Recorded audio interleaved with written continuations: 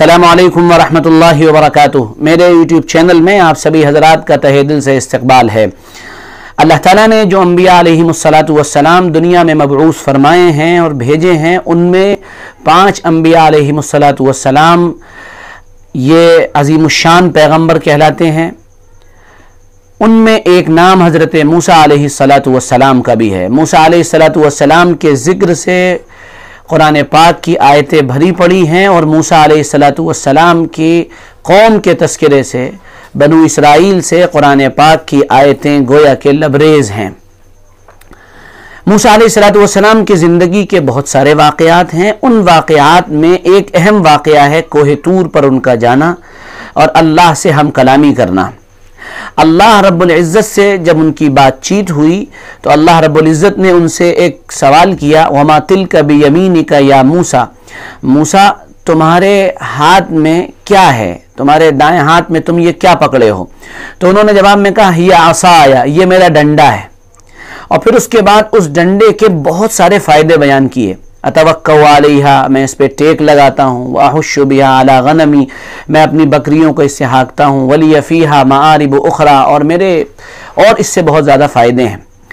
अब बात ये शुरू हुई कि ये ये मूसा सलाम का आशा क्या था, ये कहाँ से आया था, इसकी हकीकत क्या थी?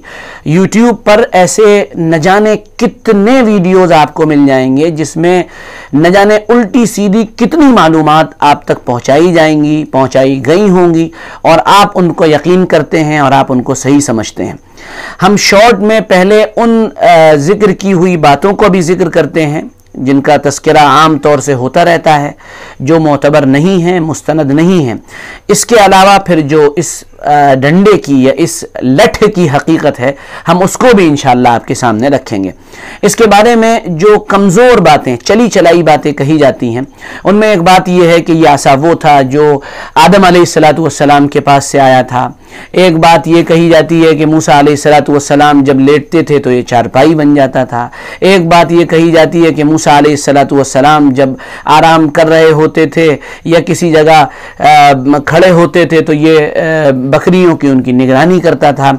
एक बात यह भी कही जाती है कि उसके अंदर से कोई रोशनी निकलती थी, वगैरह वगैरह, इस तरह की न जाने कितनी बातें। एक बात यह भी कही जाती है कि वो साय की चीज़ बन जाता था, सायादार, गोया कि वो टेंट का काम करता था या दरख्त का काम करता था।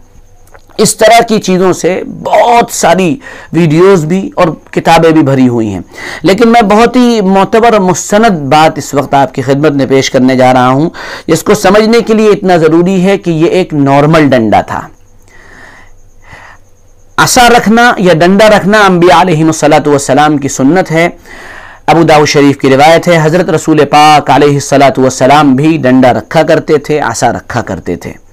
तो नबियों की गालबन ये सुन्नत रही है कि उनके साथ आसा होता था, डंडा होता था। यही डंडा था जो मूसा सलाम के पास था।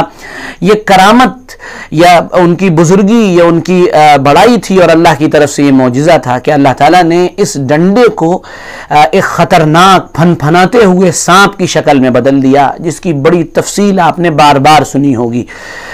जब मूसा सलात सलाम के सामने ये डंडा कुछ सांप की शक्ल में बदला तो मूसा सलाम डर गए। क्योंकि ज़ाहिर सी बात है, वो इंसान थे, डरने के बाद पीछे हटे और थोड़ा वापस आए। फिर अल्लाह ताला ने कहा, मूसा, डरो नहीं, डरने की कोई बात नहीं, बल्कि इसका मुँह पकड़ लो, इसका सर पकड़ लो, ये दोबारा डंडे में तब्दील हो जाएगा। मूसा वसलाम ने उसके डंडे को उसके सर से पकड़ा और वो दोबारा सांप में बदल डंडे में बदल गया। उस सांप को पकड़ा, वो दोबारा डंडे में तब्दील हो गया। तो जो बात यहाँ कहने की है, वो ये है कि ये एक आम डंडा था। इसके अंदर कोई ऐसी स्पेशलिटी नहीं थी। लेकिन जब ये सांप बदल बनता था तो एक खतरनाक किस्म का सांप अजदहा बन जाता था, जो चीज़ों को निगल जाया करता था। यहाँ तक अल्लाह इबन कसीर अहमद ने लिखा है कि ये ऊंटनी जैसे बड़े बड़े पत्थरों को निगल जाता था और दरख्तों को ये गोया के लुकमे तर बना लिया करता था और इसकी आँखें अंगारे की तरह चमक रही होती थी। अल्लाह इबन कसीर अहमद ने अपनी तफसीर इबन कसीर के अंदर इन वाकयात को लिखा है।